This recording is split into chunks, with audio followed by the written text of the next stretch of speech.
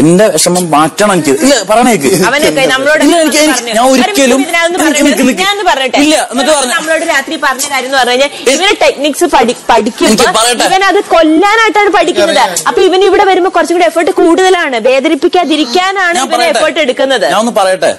എനിക്ക് എനിക്ക് നല്ല ബോധ്യമുണ്ട്. ഓരോ കാര്യം തന്നെ ചെയ്യുമ്പോൾ ഇത്രത്തോളം വരുള്ളൂ എന്ന്. നല്ല ബോധ്യമുണ്ട്. എനിക്ക് ഈ സൈ ഞാൻ ഈ ഒരു സാധനം തന്നെ നൂറും പതിനായിരം സമയം ഒരു ദിവസം സ്റ്റക്ക് എനിക്ക് പ്രാക്ടീസ് ചെയ്യണമെന്നാണ് ഞാൻ. എനിക്ക് അത് തീർക്കാൻ പറ്റും. നീ നീ എത്ര ബലം എന്നെ പ്രയോഗിച്ചാലും എനിക്ക് അത്രയും ഇതാണ്.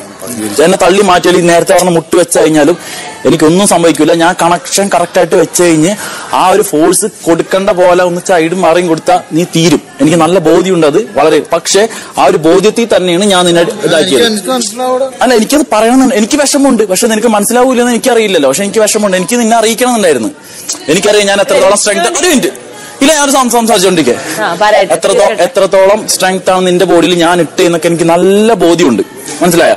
ഞാൻ ഒരിക്കലും ഒരിക്കലും എനിക്ക് എനിക്ക് ഞാൻ ഇപ്പോഴും പ്രാർത്ഥിച്ചുകൊണ്ടിരിക്കുകയാണ് ഒരിക്കലും എന്താ ഈ ഇതേപോലെ തന്നെ ഇരിക്കണം. ഞാൻ എനിക്ക് നല്ല ഇതുണ്ട്. എന്ന് വെച്ചാൽ എനിക്കറിയാം ഞാനിപ്പോ ഇതിന്റെ ഉള്ളിൽ കാണിക്കണം എത്രത്തോളാണ്.